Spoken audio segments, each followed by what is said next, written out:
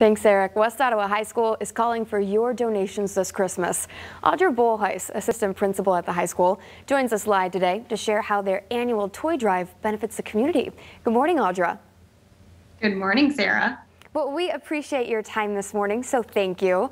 We are yeah. so curious to hear about this annual toy drive. Exactly how does this work?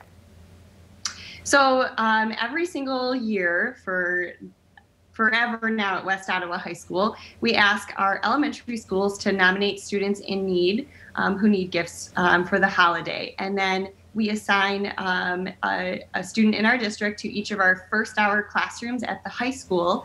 And our students um, go home and, and go shopping for these, these uh, kids in our district um, and donate gifts uh, for them for Christmas. Then we usually have a wrapping party and uh, we have our high school students help distribute the gifts to the schools, and then they get to make it home in time for Christmas. Oh, that's wonderful. Christmas is only a few days away, so how far are you guys in this process? How can people still be able to help you? So uh, we, at this point, had to change up everything that, that we usually would do. And this year, instead, we used money from um, our in district fundraiser called When in Need Woe. And we were able to actually take all of our um, nominated students and purchase gifts um, online and have them directly shipped to their homes. We even wrapped them um, so that they would have something to open for Christmas because our high schoolers haven't been in school to help us get toys donated. So um, we've used that that money from that WINWO fundraiser um, to, to, to do that for our families. That's great. So do you know about how many children you guys are going to be able to help this year?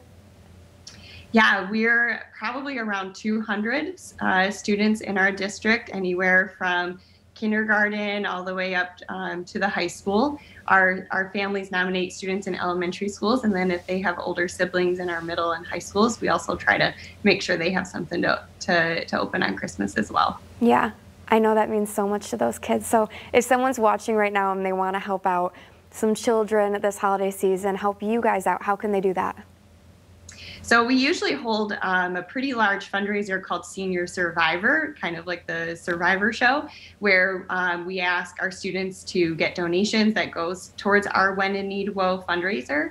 Um, and this year we were not able to do that. We also have um, sponsorships from uh, businesses in the local Holland area. Um, that, that we you know appreciate so much that goes towards our When in Need West Ottawa Fund. Um, so, but we had to miss out on that this year. So, if uh, families around around the area are interested in in helping us, it would be in uh, just making a donation to When in Need West Ottawa to help us help our families in our district. Wonderful, Audra. Thank you so much for joining us live today and informing us on all of this. Yeah, thank you for having me. Mm -hmm. That was Audra Bolhuis. She's the assistant principal in West Ottawa. We thank her for her time. It's 7